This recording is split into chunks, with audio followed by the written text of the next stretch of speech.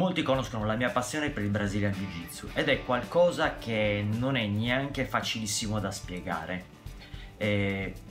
da spiegare in generale, mm, è una cosa che ho trovato invece venga estremamente condivisa dai miei colleghi della Kramaga Global, più o meno in tutto il mondo,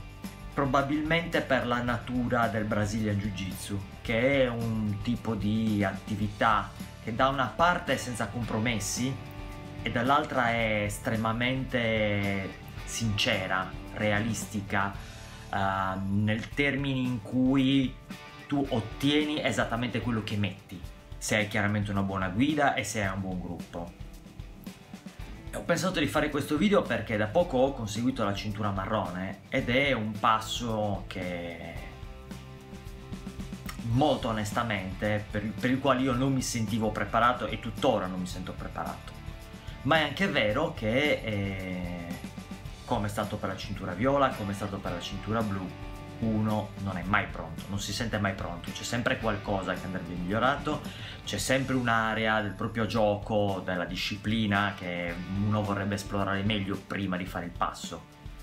Ma se non si fa il passo, da un altro punto di vista, e questo io l'ho notato per, per il mio precedente percorso, non cambia la mentalità che ti consente di raggiungere un nuovo livello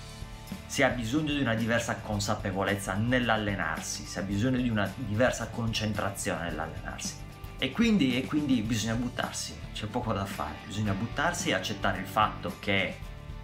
malgrado non si sia a livello, il, la propria guida, il proprio istruttore, la propria scuola vede che ci sono i presupposti per raggiungere il livello. Termino questo video con le immagini quando mi è stata consigliata la cintura marrone e con la passata di botte che mi hanno dato subito dopo che è una bella metafora del percorso che ti aspetta, perché è un percorso duro, difficile e in cui devi accettare il fatto che ne prenderai, prenderai tante. Ma è bello così, forse è proprio bello perché è così.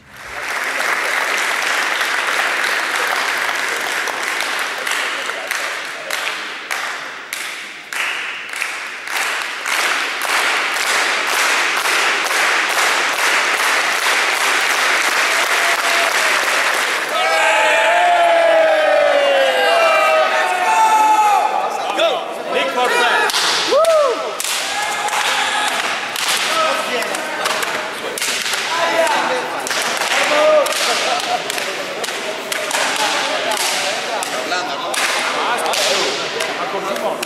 sempre. Vuoi Luca, non faccio casa di un passaggio.